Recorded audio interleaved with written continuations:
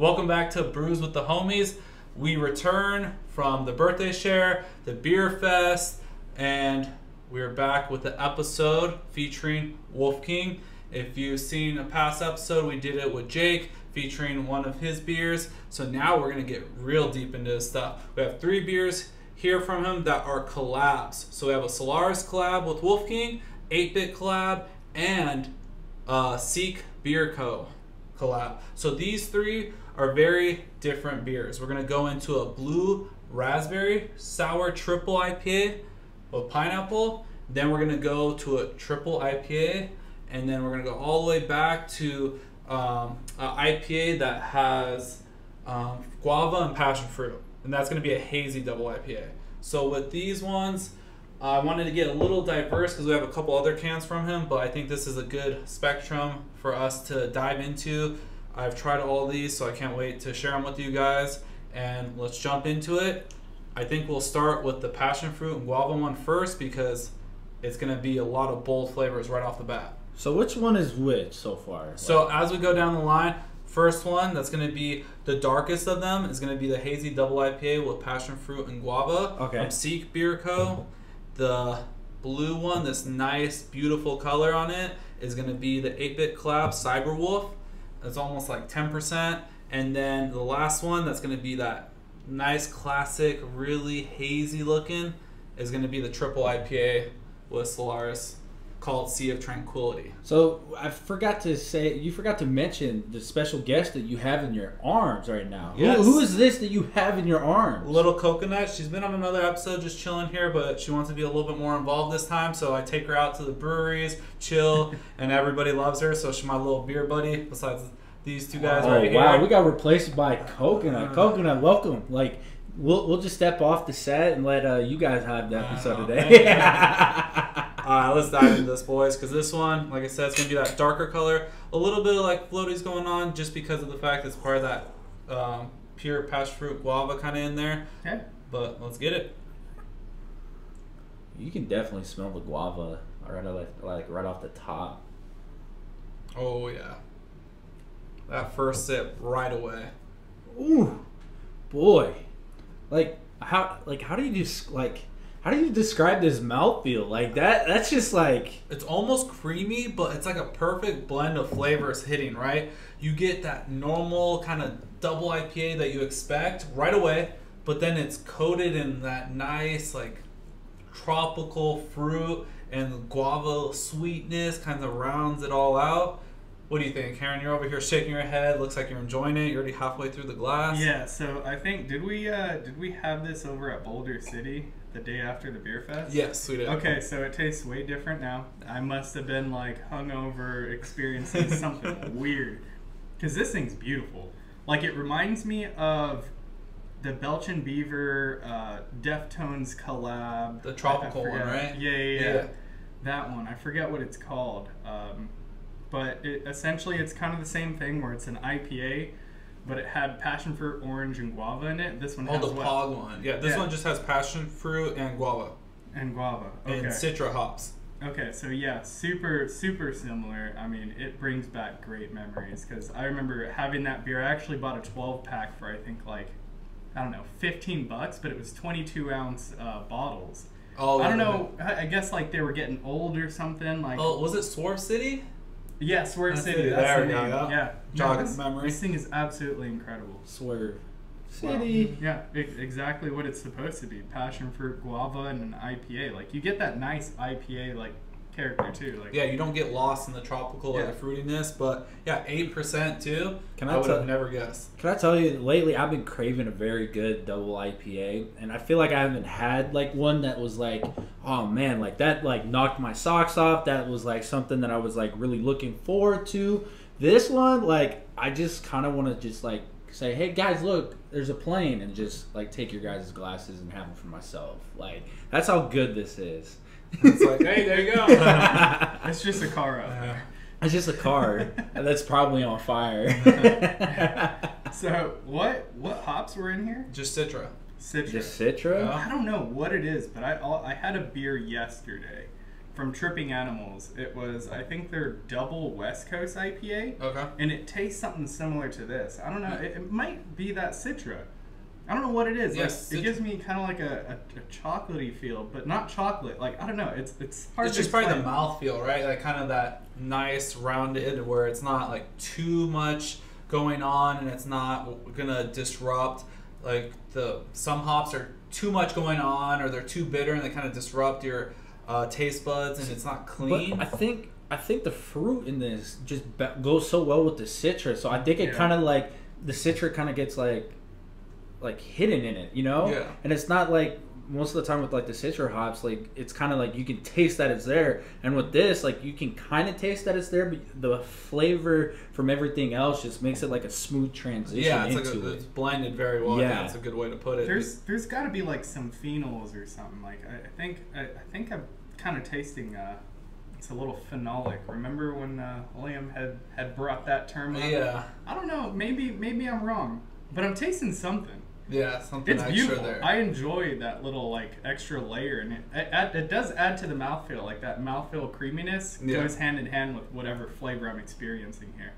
Man, All right, we'll move on to the second one. So I wanted to kind of split these up since we're gonna go double, then sour triple, and then a regular triple IPA. Um, so Cyberwolf, collab with 8-Bit and Wolf King.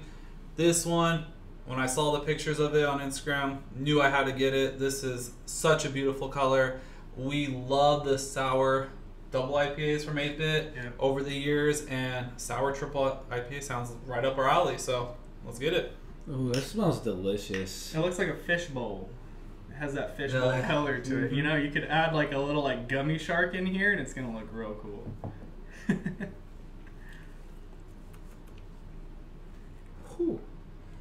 So this one is a sour triple IPA blue raspberry, pineapple, and citra. So back on that citra train. I'm very curious to see what you guys think of this one because for me, I get some strong similarities to certain things that I would relate it to. So very curious to what you kind of relate it to. it gives me like like a Jolly Rancher sweetness. Okay, yeah, it's close to what I was thinking. It kind of reminds me of like a warhead. Okay, like when it's not salty, or I mean Yeah, when like- it's not like sour. When it's not sour, after you licked all the sour off, That's it right. just get like that like aftertaste to it. But then like it's weird because like you would think like on this you would get the sourness like right away, but like I get the sourness after, and I'm like, ooh, like what is that? Yeah, it's like, the lingering, like that Yeah. back end. So I like the description, the blue warhead, but like on the back end. yeah, The biggest comparison was like blue raspberry licorice. If you ever remember those or ever had one, yeah. I, I loved it. That was kind of one of my favorites. Um, I mean, Bass like- Pro used to have all the different Mm. styles of Yeah. licorice, like watermelon, like strawberry, blue I just raspberry. stick to the red vines. Yeah, can't go wrong with red vines. No. But the blue raspberry one I really like. So this kind of gives me that nostalgic feeling. Um, you still kind of get the hops. The citrus there in a different way than the last one. Right. Um, with how 8-Bit does the sour double IPAs and stuff, the hops are always there as a complementary flavor. On this, I think you really have to like that blue raspberry taste and you need to like like that pineapple I think helps with the sour on the back end. So you have to enjoy a sour back end and a little bit of hop in there, but 10.4% ABV. Wait, a 10, 10.4? Yep, there, there's that triple Wow. sour triple IPA. Um, I don't really taste it, but that sour kind of does give off a little bit of a booziness, just a little bit on the back end. I would have thought maybe around that eight percent is what I would guess blindly on it. So, good job hiding the ABV. All around, a very cool, unique experience of a beer. But I'm leaning towards liking the first one in terms of drinkability and ability to share. I think this one's just like more of that See, end. I I agree with the share. Like, the first one is better than this one, but like I don't think I could ever like drink a full can of this. I think I would have to have like ten homies that would like want to try Split this out, to yeah. split it out. Ten of them. You got two of us here. Like, uh, Well, I, to me, I feel like having like a couple of sips of this one like does Yeah. it justice for me. Like, Yeah. I, Yeah, yeah. I'm cool off of the couple of sips here because I don't know what it is about like the like some of these sours now. Like I, I don't know if it's my palate's changing or what, but sours aren't normally like my go-to Go-to one anymore. anymore. Hey, Yeah. like my hat. Drink more lagers. Yeah, I mean that's what I have been doing, and I've been drinking a lot of shit ton. Or I've been drinking a shit ton of cold IPAs. And Yeah. let me tell you, Yeah. I'm glad the cold IPA train is catching on because uh, I've had a couple of good ones. It's a especially, lagered ale. Yeah. especially bottle logics. Oh yeah. So Heron, on this one, what are your kind of final thoughts? And Yeah. How would you rate it? What would you kind of do with this one if you have So- extra cans? So this thing came out of 8-bit, right? Yes. And it was a collab with Wolf King. Yes. So essentially, the 8-bit sour IPAs, because this is a sour what Yeah. double, Or sour triple. sour triple. Okay, so I don't know if I've ever had a sour triple. Yeah, Have we had a sour triple? I, did, I think did that had exist? like one, but yeah. Yeah, so- a long time ago. I don't Yeah. think we've had them recently. Essentially, the sour triples would have like that passion fruit kind of very sour kind Mhm. of characteristic to them, where this one is, is very sweet. Like it would have like that sour, but also that sweetness as well, and it would taste somewhat hoppy. Like I think the Citra kind of like takes a back seat. It's still there, Yeah. but like everything kind of just like so rounded out that you look at the label saying sour IPA, and you're just like, okay, well, it's kind of like you kind of have to pick it apart. It's a little Yeah. more. You, you got to do a little more digging than what 8-bit usually does with their sour IPAs, which is make them sour, make them sweet, and make them hoppy. Like Yeah. all those things are like turned all the way up. Yeah. So I mean, this one's subtle. It's cool. It's unique, but yeah, it is. It is on the sweeter side of things. Yeah, I think it's layered because I still think like the front has a little bit of sweetness, but I, in my personal opinion, the back end has a lot more of like a sour tartness, but it's more of like that warhead kind of tart or hop, kind of adds the tartness on the back end. But yeah, I think this is one that a lot of people that enjoy beer or like the layers and going through a beer to see how a brewer made it or enjoying the experience would the really journey. enjoy it. Yeah, this one's a very like enjoy the journey type of uh, beer, but, But it's subtle. It's Yeah. subtle for sure. The journey is subtle. It's not like oh mountains and you know. It's yeah, like, you don't have to be like it's, It's, it's like rolling complex. rolling hills landscape with a little bit of you know different plants and diversity there, but it's not it's not loud like this. This one was it had more pop to it. Yeah, the know? first one definitely. Yeah. So it just this one I think it comes down to what style you like, what are you open to, and I think that's where 8-bit has kind of shied away from ever since we used to drink them a heavily amount like during COVID in that realm of when they were pushing out so much very strong, interesting, unique flavors and then kind of went a little bit more safe and then now they're kind of rounding back out to experimenting a little bit more it seems like. But yeah, overall really like it. I just I'm leaning towards the first one a lot more in terms of enjoyability. So with that, let's jump into the third one, Sea of Tranquility. It's going to be a Solaris and Wolf King collab. Oh yeah. Uh, Liam said that this was probably his favorite triple IPA that he has helped make.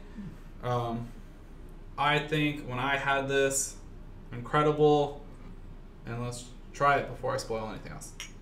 Yeah, I was just about to say, can I like try before you like? you Yeah, that's me- why I'll, I I, I knew. Just you'll see what I mean when you drink it. Did I have one of these before? Yeah, you we shared some of it. Shared one. It was the day after the fast, so hey, it was a day recovery. after fest, like literally, day after fest, taste buds were weird. They had they made no sense. I don't oh. know what I was eating. I, I was trying to drink some lemonade, but it tasted like I don't know. It tasted it tasted weird. I think it's because of like all the like beer that you had is probably still on your tongue, and then you try to like drink on top of it. Like I j- sometimes Just- like after beer fest, like I just wanted like, hey, I'm not gonna have a beer today. Yeah, you gotta relax, but Yeah. we had to keep going. We wanted to jump to yeah. Boulder They City, said- share some more stuff. They said the marathon continues. Yes, for sure. Funny enough, we actually went golfing the day after Oh Yeah, god. before we had more beer. Oh okay. we so, did have some beers on the court, so So you guys kind of sweated out what you had in your system. yeah, sweat little out bit. some, drink a little bit more, get ready for Yeah. the night. we, we all played so well too. Oh, it it was was good time. incredible. Like we all shot under ninety, yeah, which is great. Yeah, I got Great for us. 79, 85, and then Steven 89 87 or 80 something? something. Yeah, Yeah, yeah. somewhere around there. But it was a great day, even with a little bit of wind. We still That was a lot came of wind. through. It was a lot of wind. he's like, no, don't downplay that. It was bad. It was great. But this one, I really enjoy. So it's going to be 10%. So just a tad bit under the last one. It's a triple hazy IPA, whirlpooled with Idaho 7, Citra Incognito, and triple dried hop with Nectaron, HBC 1019, and Motueka, liquid hop Keef. So there's a lot going on this one. Yeah. Keith is in this? Oh. Oh God. I'm, I'm curious if they mean like that's the hops and only the shaved like extra part where you get all the flavor and everything. That's what that's what most of the time Keef is. Like- Keef is like the fine Super grain, fine, yeah. and that's normally like where all the most potent Potent. shit is at. So- and let me and let me tell you that that hits that shit out of the park. Yeah, because I think they were trying to accomplish some huge flavors of pineapple, orange, candied lime, passion fruit, guava, and peach. So this is one of those triples where you're getting a soft kind of mouthfeel, very tropical. Um, the sweetness across the board is there. This is one where super approachable for many people that want to start drinking heavy or get into the triple game. This is what got me into triple IPAs. Something like this, super drinkable. You could have two of these and be perfect, like or a little bit extra lit for some people, Oh, yeah. but I have one and I'm gone. yeah, Can I- Like, super creamy, smooth, and beautiful color on it. I'm gonna pull a Charles, Charles Barkley here. This is probably the best triple I have ever had, and I can guarantee that it's the best triple I've had. So, you know, I like that one. uh, you know, gotta, I, dude. This is so enjoyable. So- I don't want to drink anymore. I just want to like hold Savor it, hold savor it. Like, uh, what's the dude from Harry Potter? The the little goblin dude. Um, Or no, Lord of the Rings. I was like, There wait a go. second. I was like, you're talking about Dobby, bro? Yeah, Yeah, Dobby. There we go. I'm gonna be like Dobby. It's mine. No, that's a that was the Lord of the Rings. Yeah, right? yeah. I don't know who that little guy is. I don't know, but that that shit's great. Yeah, it's phenomenal. It, you have like that kind of like hot bite, like right at the end. You know, you have like it, it lingering a little bit, but it's so it's just it is what it is. Yeah, this is what a so triple sweet. is. It's like the epitome of what I look for in a triple IPA. Like this rivals, I would say, neck and neck with like Monkish, North Park Triple, uh, Fidens, Fidens. You know, we always have that debate, but all the way up there with top class in terms of triple. Now I understand why Liam said this is probably one of the best triples he's helped make um, as a head brewer. Absolutely killed it, man. This is one that I wish I only got a four pack of. I should have ordered fucking a shit ton. Should've just then ordered a went keg. in there and picked. Yeah, should have just should have just ordered a keg. We would have figured there it and out. up, yeah, yeah. we should have just figured it out and got a keg of this. And Liam, if you're listening to this, this is fucking phenomenal. Thank you. Like, Yeah, this one, round of applause. Yeah. Now you understand why I almost dove straight into talking about it because I was so excited to talk about this one. yeah. You said you got more in the fridge. Yeah, Oh, you might not have more after that. gonna have to have an after pod beer, but Yeah, we gotta kick this man out. He's gonna steal all he's our trying to steal our beer. What's going on? I'm trying to I'm trying to steal this triple. I mean, hey, this is this is really good, all right? Like, let me tell you, I've you know, it's that summertime here in Vegas. This is when like the triples, the doubles, the singles, all of the Yeah. like everything is like in season out here. And this right here was just like icing on the cake. Like to start a pool day, or like if you just want one to hit you good, and then hey, cold IPAs, lagers, pilsners to kind of round you out after this, perfect. But I want to get kind of ratings on this because now that we tried all three, they're all phenomenal. I think they're great beers, but let's rank them. Dustin, I'll let you go first. I think I already know you're first, but Uh, well, let's let's just get the obvious out the way. The Solaris collab, that's number one. I think, in my opinion, that's a solid five. Like that's a that's a guarantee five. Like hard, like Yeah. nobody's changing my mind. Like that's a five. Um, my second favorite one, definitely got to go with the first one. yep, Seek Beer Co. Seek Beer Co. I think this is my first time ever having one from them. Yeah, I So, think- like, my bar for them is like I have no like judgment for it. So I'm gonna say that one's like a four seven, four six. Like it's Yeah. very solid. Like this is one I would go back to if Beer Zombies had it on tap. I think That would be the one I would always get off tap. And then the 8 bit one, I, I don't know, because like I said, my taste buds are kind of changing, I think, when it comes down to beer. Like, I think this one's like a 3 9. Like, it's definitely something that like I would bring to share with all the homies. It's not something that I can drink by myself. No, hey, that's fair. You know, So Heron. Yeah, I kind of want to mirror your ratings almost exactly. Like, if I were to run a spot and this spot would only have beer that I drink, and these beers would hypothetically never go bad, I would have both of these beers on the end on tap 24 7. Hypothetically, they never go bad. Yeah. The one in the middle, I could I could do away with. I, I don't necessarily need it. It's cool. I know there's somebody somebody out there will like it, Yeah. like a lot. But yeah, like us, like I, I kind of want a little more sourness out of it.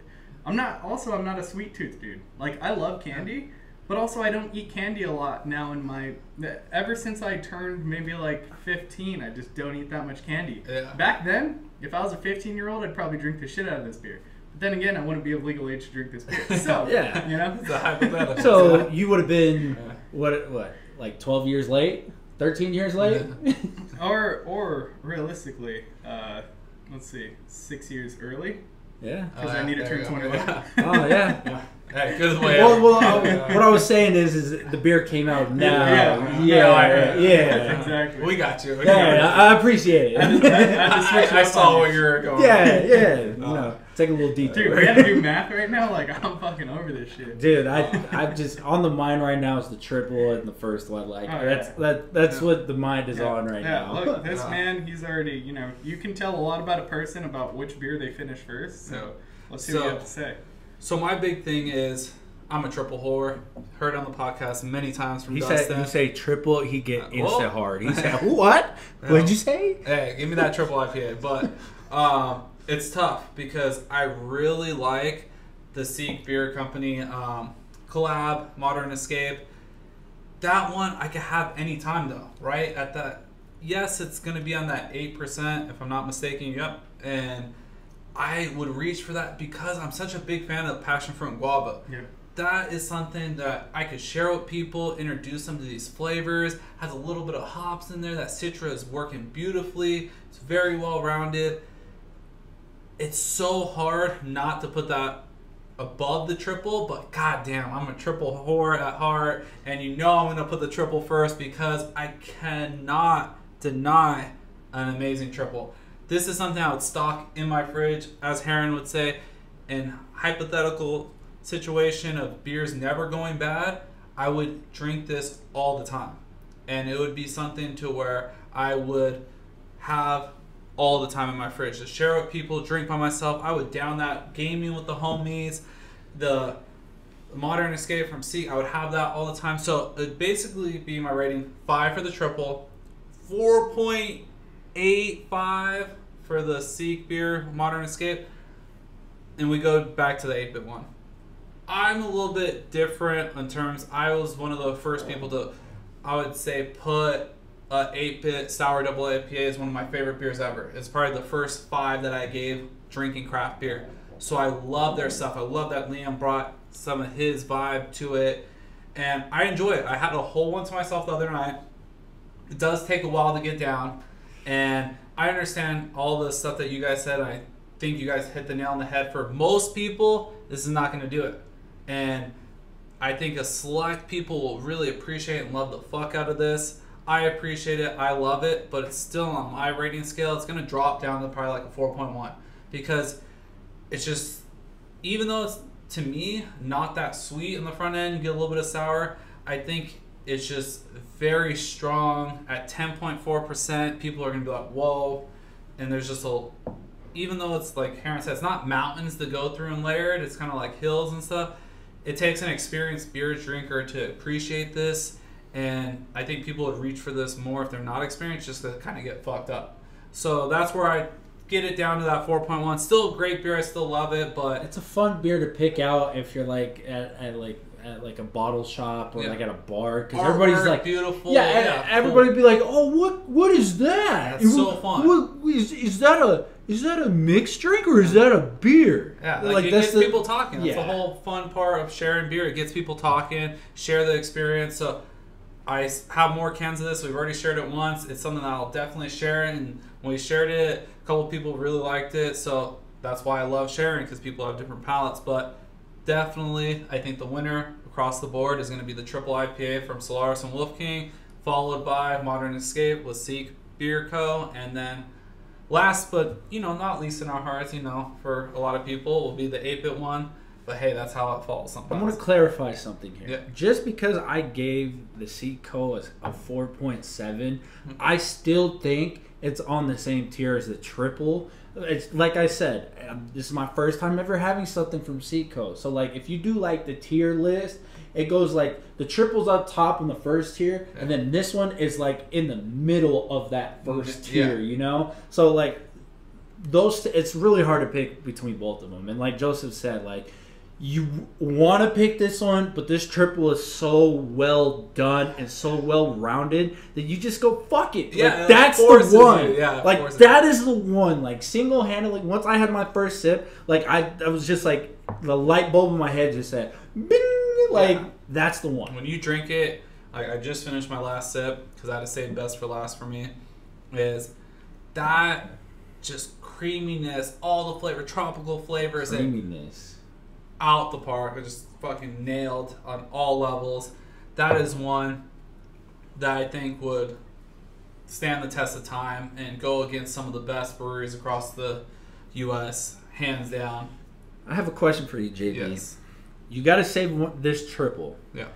and then we got to get a couple other triples and i want to see how you rank the triples i want to see you do a blind taste test of the triples and Yeah. see if you can identify which one is which i will give you a list of the breweries Yeah. and then you can just pick from there i think Yeah. that's i think that's something that we got to do here in the near Oh future yeah, for sure. Because there's always good triples coming out across the board. oh would be- most definitely be fun to do. So we'll wrap this one up. Stay tuned for another episode. We're going to be doing kind of recapping the beer fest, uh, my birthday uh, bottle share at Boulder City, and we'll be talking about the award that Boulder City won over there. So congratulations to them, and we'll hit you guys up on the next one. And thank sure you again liam thank Yep. you Hey, again thank you guys, Solaris, 8-Bit, Seek Beer Co., and Liam, Wolf King. We appreciate you all. Cheers, guys. Cheers. We'll catch you later.